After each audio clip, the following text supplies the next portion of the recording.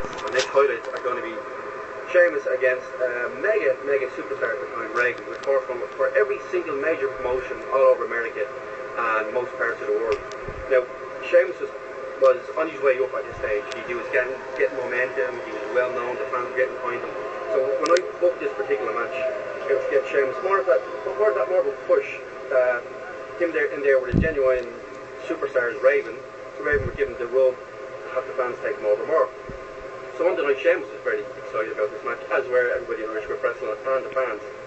Now, during this match, Raven went to the business for himself. Raven, who was getting paid a very handsome fee, much more than Sheamus was at the time, decided to have a, what wrestlers say, call in the match, phone the match in. He laughed and joked, you'll see him, he's on the microphone and he's he's, uh, he's not very nice for Sheamus or opponents in the ring. He basically just made a mockery of the tag, the tag match. But for me, for for me, this really kicks home a point to young upcoming wrestlers or anybody in entertainment in general. Be very nice to people if you don't know who you're going to meet the way back down. As Sheamus now has surpassed anything that Raven has ever achieved in the wrestling business, and I'm sure if both men were to meet now, it would be Raven who would be trying his best to get the rub off of Sheamus. And this is complete 360 of what happened in the tag team match.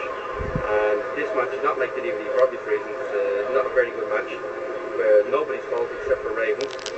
And I would like to think that Sheamus, the, the true professional he is now, and I'm sure he has much more, much more to achieve in his long career, would never treat an upstart wrestler just the way Raven did.